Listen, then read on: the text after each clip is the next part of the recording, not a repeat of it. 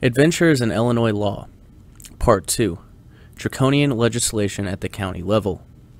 Read by Shane Radliff, the author, originally published at libertyunderattack.com on May 27, 2015.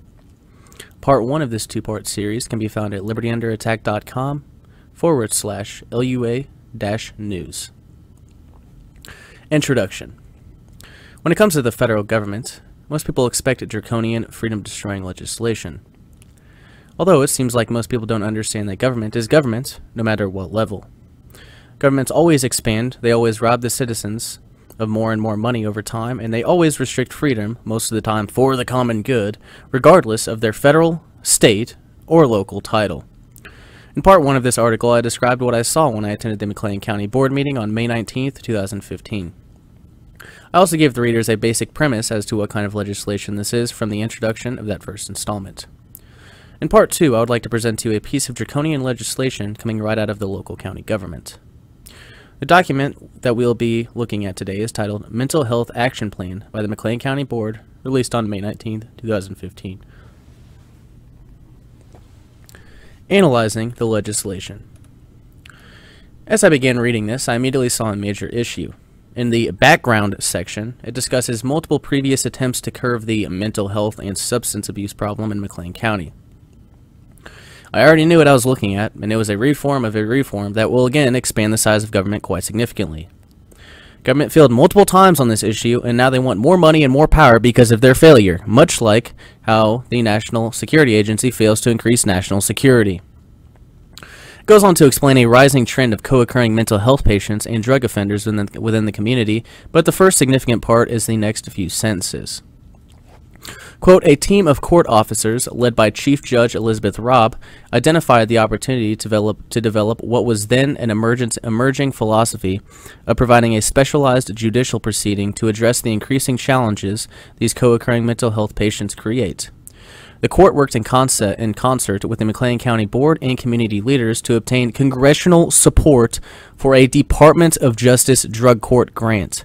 This grant was authorized in September of 2008, and McLean County became of Illinois' first drug court. End quote. In the article linked to Chief Judge Robb, it reveals that Governor Rauner named her to a state reform panel on improving the Illinois prison system.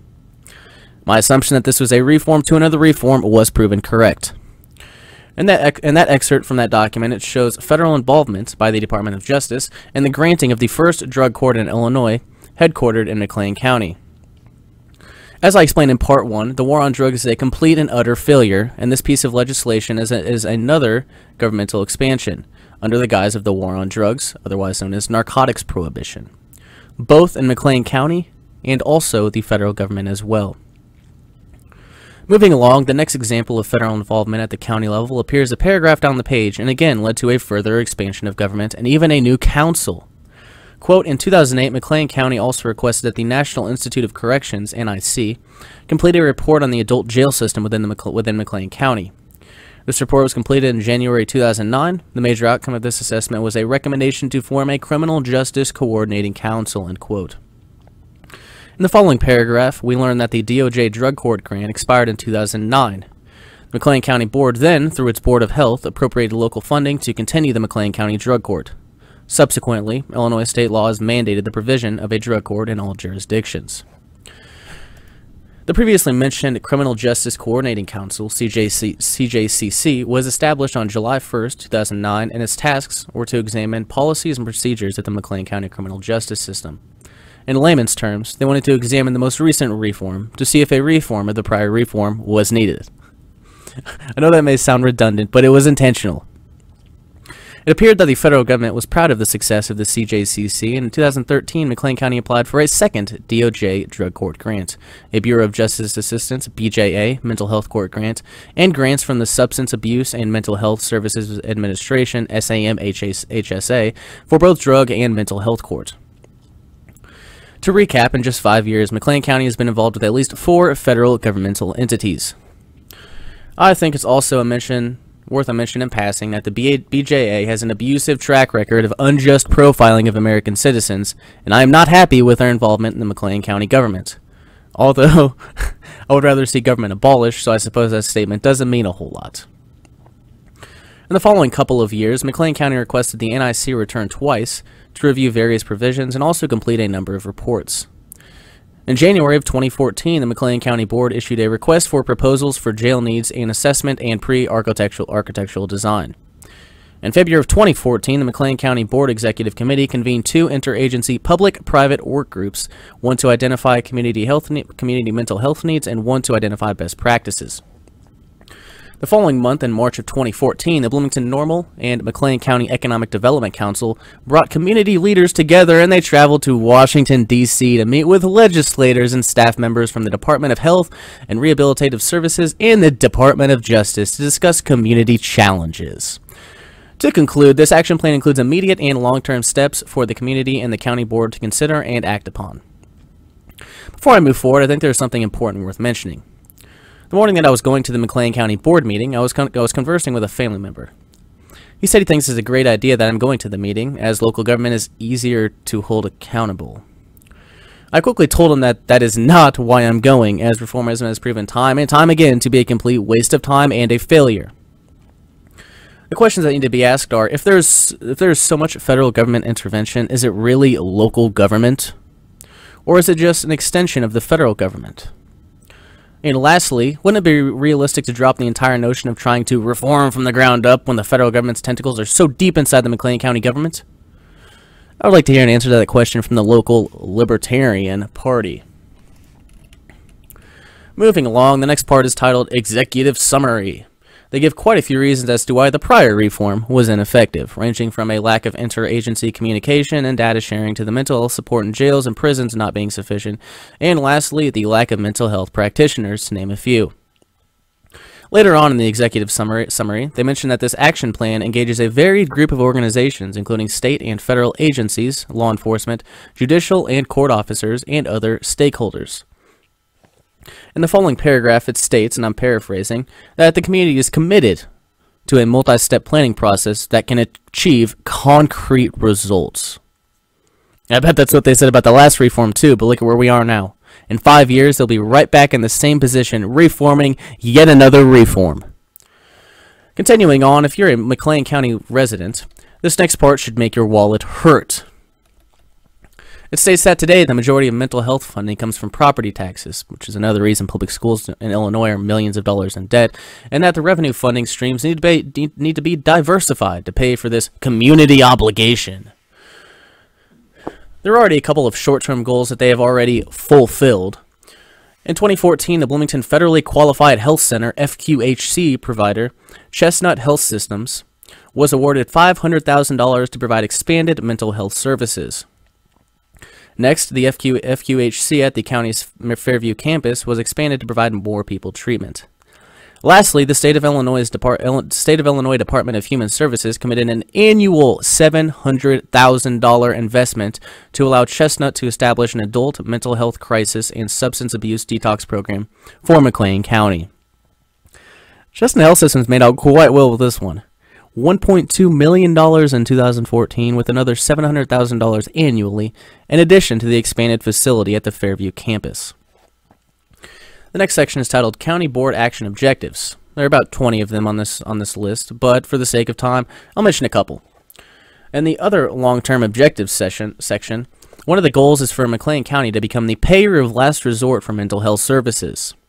Another non-surprising one from the amount of federal intervention touched on briefly so far is that the McLean County Board wants to continue to engage federal and state legislators regarding community needs. To conclude this section, you can clearly see this action plan is heavily focused on drug users. It is also easy to see that we can expect taxes to go up in McLean County to help pay for this costly reform. The amount of federal intervention and assistance is also highly prevalent. It seems the mindset is constantly one reform away from utopia or one law away from utopia, when both have been proven failures time and time again. Although, what can you really expect from a bunch of statists that believe in the most dangerous superstition known as government? I've got the solution to this grievance. A good place to start, if the several American legislatures wanted to, would be to repeal the Federal Controlled Substances Act of 1970, or, for example, the Texas Controlled Substances Act of 1989. From reading the document, most of the crucial information has already been provided. The rest is bureaucratic jargon and quite a few tables and charts. Yet there are still some important points to touch upon. The Criminal Justice Coordinating Council, CJCC, has been mentioned multiple times so far, but in, addition, in addition to that, one of the tasks is to create a McLean County Behavioral Health Coordinating Council, BHCC. In short, the BHCC would be the umbrella for organizations in the behavioral health systems and will be a conduit for information sharing. The members of the BHCC would be appointed by the chairman of the McLean County Board, the current one being Matt Sorensen. On page 18 of this document, there is a system structure for behavioral health. I'm showing you this to provide an example of the bureaucracy that exists locally. The majority of residents in this county have surely never heard of any of these administrations, groups, boards, or coordinators. Note the tax levy and budget section. On page 19, the task is to appoint a mental health advisory board and also calls for the expansion of the role of behavioral health and development disabilities coordinator. On page 20, it calls for the development of standardized data collection guidelines, as well as McLean County becoming the tax the, be, becoming the payer of last resort.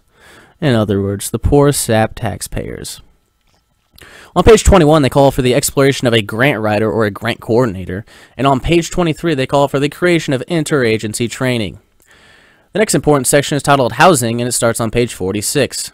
They call for an addition in size to the McLean County Jail for numerous reasons one of them being the need to provide a therapeutic environment for those incarcerated who cannot tolerate placement within the general population. Next is the expansion of the welfare state. In the section titled Short Term Action Plan, they seek additional federal housing vouchers and funding for construction of subsidized housing and to work with rental groups for an additional housing option. I would imagine that would be similar to the U.S. Department of Housing and Urban Development, HUD, their Fair Housing Equal Opportunity Program, only on a more local level. In the section titled Crisis on page 55, there is a behavioral crisis flowchart. There's nothing substantial about this chart except there is a mention of involuntary commitment. There are no definitions, no procedural lists or charts or anything, which is certainly interesting and something I need to dig further into.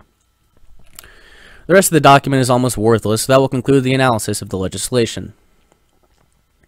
The war on drugs has only brought with it overflowing prisons, destroyed lives and families. It's contributed to the complete implementation of the police state, civil asset forfeiture, otherwise known as legalized highway robbery, and in this instance, draconian legislation that is passed under the guise of solving the drug problem. If there is one thing that should be should have been learned by now, it's that tossing someone in a government dungeon for a vice does not work. It also creates a black market that increases violence, gang activity, and overall crime. The legislation that was analyzed in this article will not solve a single aspect of the drug problem. It is an easy hypothesis to make, just look at how many prior reforms have been implemented before this one. There will be a few for sure ramifications from this legislation. The taxes will have to go up in McLean County to fund this. Also, the size and control of government also increase, will also increase, as that is what happens with every single reform. There are a couple of, poss couple of possibilities that could also occur. With the focus being on drug users, we could see an increase in civil asset forfeiture as well as an increase in drug rates. The mention of involuntary commitment without a definition is also a major issue. The real people with mental deficiencies are not those that use vices. They are the ones that ignore all real statistics and empirical evidence and would rather waste time and taxpayer money on legislation that is bound to fail. So what is the solution? The first one is already semi in motion, and more states need to follow suit of Washington State and Colorado, the de decriminalization or legalization of drugs. The final solution is to look at all the evidence of reformism failing throughout history of throughout the throughout the history of government and stop wasting your time doing something that doesn't work. Withdraw all consent and make yourself as individually free as you possibly can. The first of those that I would recommend is canceling your voter registration. Government is government. It doesn't matter what level. In this case, it was county level, but with lots of assistance and grants from the federal government. All levels have the ability to pass irrational, illogical, draconian legislation. The issue isn't the size of the size of the government, and it's not a failed system. It's working just as it's intended to, and it's about time we open our eyes and see that. If we don't, the ramifications will be deadly. Author's note. All of the sources are either linked in the article or can be found in the reference document that will be uploaded along with the article. You've just heard Adventures in Illinois Law Part 2 Draconian Legislation at the County Level, read by the author Shane Radliff, originally published at libertyunderattack.com on May 27, 2015, and part one of this two-part series can be found at libertyunderattack.com backslash LUA-news.